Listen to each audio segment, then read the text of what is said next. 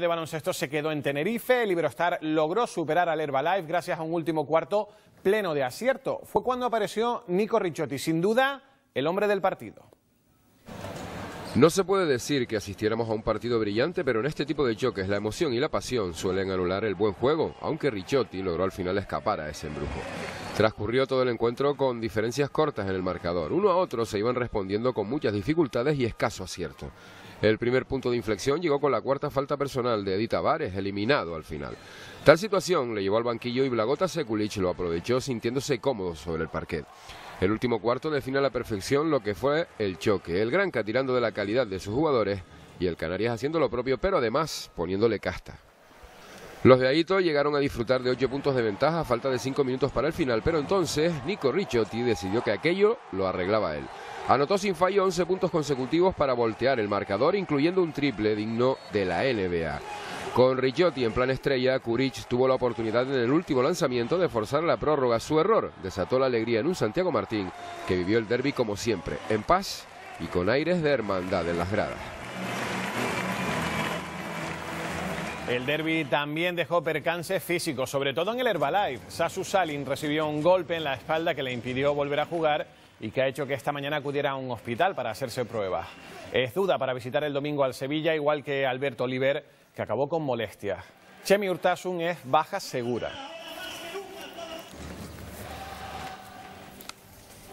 Ahora vemos las consecuencias del partido en la clasificación. A falta de tres jornadas para que concluya la liga regular, el Herbalife es octavo con 16 victorias, las mismas que el CAI Zaragoza que está fuera de los puestos de playoff y a un triunfo de ambos se sitúa el Iberostar.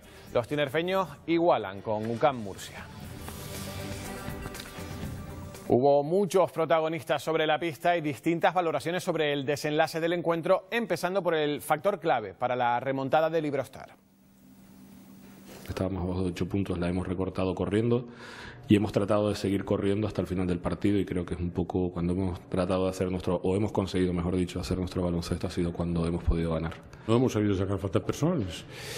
Y para mí esto es un poco la clave del partido, porque ellos tiran 32 tiros libres y nosotros tiramos 14.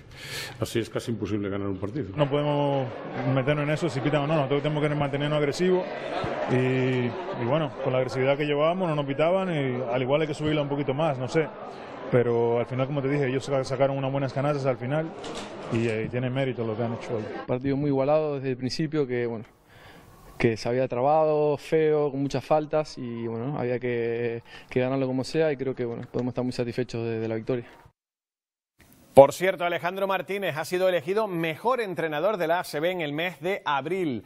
El derby dejó también imágenes curiosas. Una de ellas se debió a un enfado de Saúl Blanco cuando fue sustituido en la recta final del encuentro. El asturiano tiró una botella de agua al suelo y tuvo estas consecuencias. La zona de cancha más cercana al banquillo local acabó empapada y varias personas se tuvieron que afanar para secarla y poder reanudar el encuentro. Un derby es un partido más todo lo que lo rodea. Se notaba en el gesto serio de la previa, en todos los detalles a punto para la retransmisión de televisión canaria.